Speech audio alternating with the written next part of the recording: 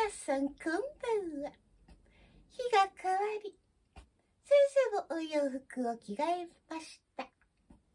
ピアノ教室には小さな小映に、島吉くん。みんなが大好きなぬいぐるみも遊びに来てくれます。子守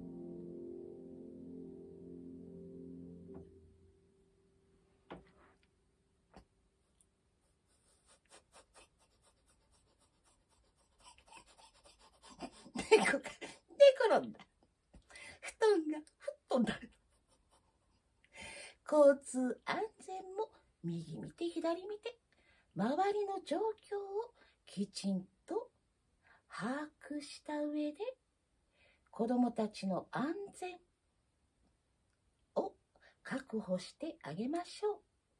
大切なお子様に怪我をさせては大変です。先生もきちんとサポートしております。